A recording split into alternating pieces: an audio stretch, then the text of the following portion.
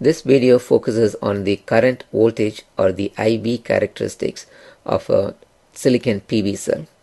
Uh, we will develop these IV characteristics based on the PV cell model that we that we covered in an earlier video and uh, specifically on the IV characteristics we will look at uh, two important points namely the short circuit current and the open circuit voltage. Okay, so this is the single diode based uh, model that we developed for a PV cell uh, in an earlier video called a PV cell model. So essentially the, uh, the incident photons or the light energy creates uh, these charge carriers or the electron hole pairs and the uh, PN junction uh, collects these charges and separates them so that the current flow in the external circuit is enabled and it also by the process of photovoltaic effect also creates the forward bias voltage. Okay, so this leads to the single diode model as shown here. So the um, photon generated current is modeled by a current source I photon. Um, part of that current is diverted into this um, uh, forward biased uh, diode and, um, uh, and the remaining comes out to the external circuit.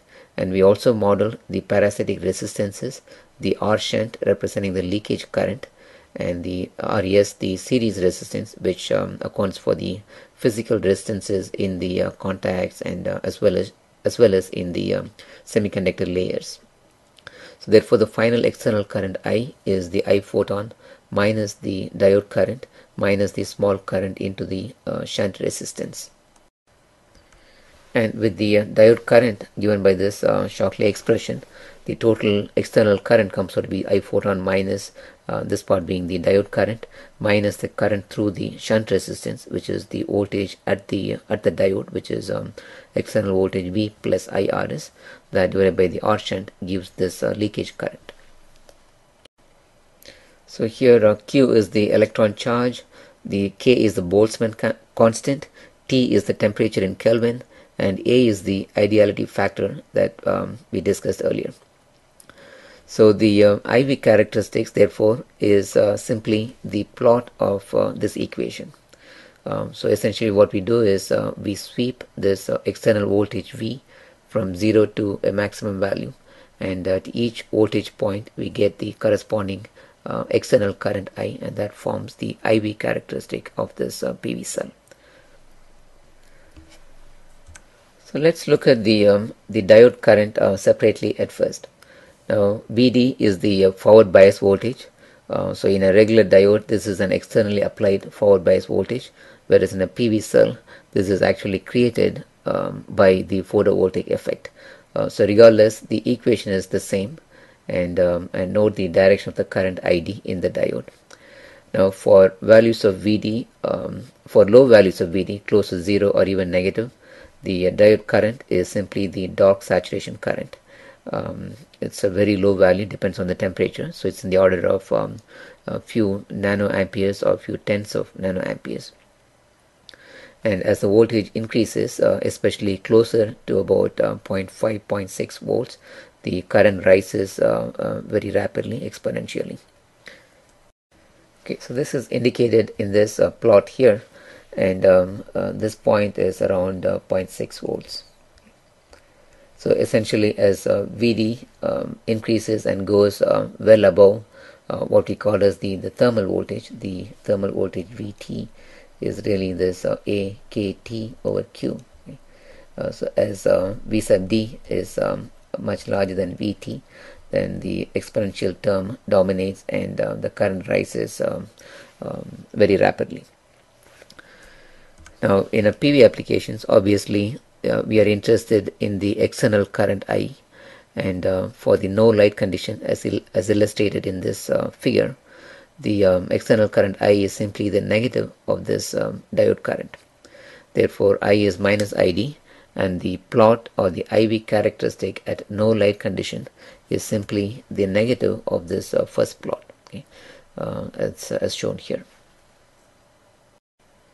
so that is the uh, no light or the dark IV characteristic and uh, as we begin to uh, illuminate the uh, PV cell um, uh, with sunlight the um, uh, now we have the other component which is the I photon the the other current source Therefore, the external current I is now I photon minus the original diode current ID.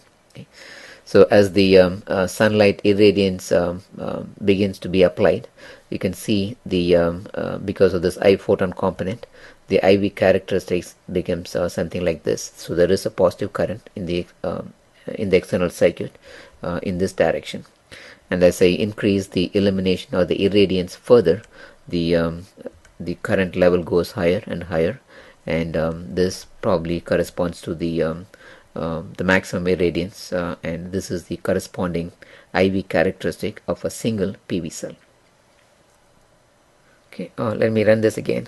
So this is the uh, dark or no light IV characteristic. As I increase the uh, irradiance, the uh, corresponding IV characteristics is like this. Um, uh, some medium level of irradiance, this is the IV characteristic and for the maximum irradiance, this is the final IV plot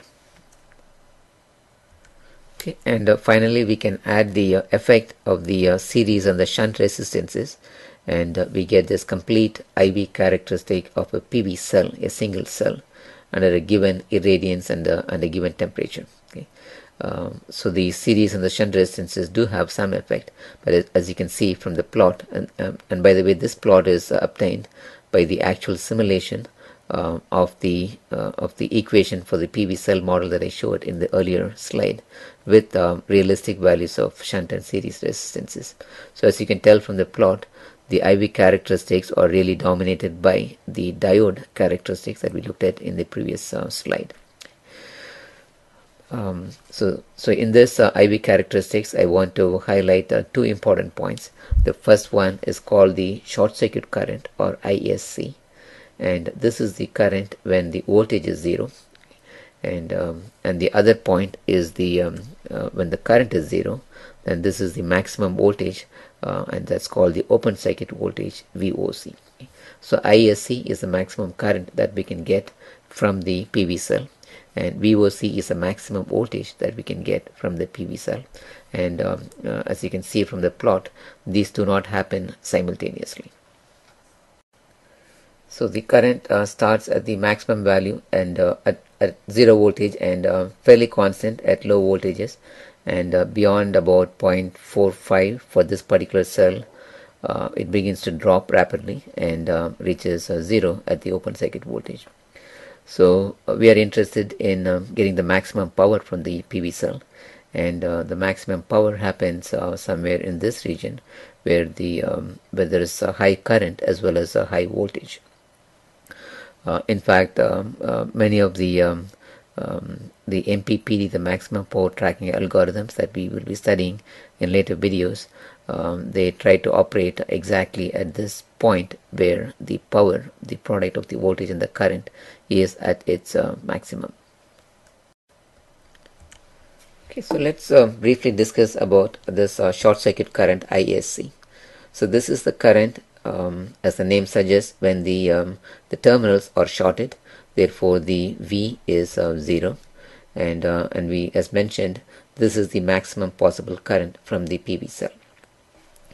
Now for low values of RS so it's um, typically that is the case. The um, short circuit current ISC is exactly equal to this um, the photon current that we modeled as this current source. so that is because if RS is small and if this terminal is shorted, then the voltage across the diode is also is, is very small. But if RS is larger, then RS times I is the voltage at this point and there will be some diode current. Okay? So typically RS is very small. So um, under um, um, short circuit condition, the short circuit current is entirely this photon current with the diode voltage and therefore the diode current being um, very close to zero. Now, what are all the factors that determine the value of the short circuit current?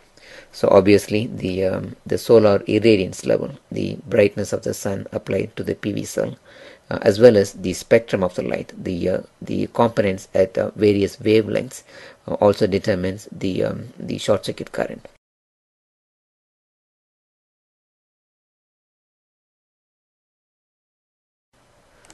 So the uh, the data sheets will specify the short circuit current under uh, standard test conditions STC uh, which is um, uh, a thousand watts per square meter irradiance level and an air mass of 1.5 which is related to the to the spectrum of light okay. then the short circuit current um, depends on the size um, specifically the area of the solar cell and to give some rough values uh, in commercial silicon cells the short circuit current is in the order of um, about 30 milliamperes per square centimeter. And finally the short circuit current certainly depends on the characteristic of the material used in the PV cell. Okay and uh, for modeling purposes which is what as uh, power systems or power electronics engineers we are mostly interested in so for modeling we can um, um, use the ISC or we can consider the short circuit current to be um, linearly proportional to the irradiance level. And um, the the impact of the temperature on the short circuit current uh, is uh, is negligible. Uh, it has a positive temperature coefficient but a very small value. It just changes by 0.05 percent uh, for every degree Celsius increase in the temperature therefore we will just uh, um, from the data sheet we can get the short circuit current under one particular irradiance level at the STC and then we'll just scale it by the irradiance that is measured or uh, that is known under which we want the the model to be um, established. And we just ignore the effect of the temperature. So the next point is the open circuit voltage. And as the name indicates the um, this is the voltage when the terminals are open circuited and this is also the maximum possible voltage from the PV cell. Now the VOC, the open circuit voltage depends on the quality of the material, uh, specifically the value of the dark saturation current IO. So the lower the value of IO, higher the quality and higher the VOC and we can actually show this from our basic uh, PV cell model now if we neglect the resistances then the VI uh, equation is uh, sh as shown here. The photon current minus the diode current. And since the shunt resistance is neglected there is no leakage current component in this equation. Okay. now uh, by definition um, in in open circuit I is 0 because the terminals are open circuited the current is 0 and therefore the I uh, here is 0 and then I can take the IO to this side. And therefore um, the I photon over IO is simply this exponential term minus 1 now now I can take the 1 to the right hand side so this becomes plus 1 here and then I will take the natural log on both sides so log this quantity is equal to log of uh, this quantity here and I end up um, having this VOC to be equal to all of these terms AKT over Q times log of um, both of these terms together. So clearly we can see the uh, impact of IO on VOC. So uh, lower the value of IO, higher is on this term and higher is the open circuit voltage. Okay, now we know that the IO is a strong function of the temperature and therefore VOC is also uh, highly temperature dependent. Now to give some typical values for um, um, the open circuit voltage in a polycrystalline commercial PV cells it is about um, 600 millivolts per cell or 0.6 volts per cell. And uh, a key uh, point to understand um, uh, about the open circuit voltage is its a very strong temperature dependency. So it has a very high negative temperature coefficient. Uh, for again for commercial uh, PV cells it's about negative 0.35 percent um, so it, it, decreases by 0.35 percent for every degree Celsius or in terms of uh, actual volts it decreases by um, 2.2 millivolts for every degree Celsius rise in the temperature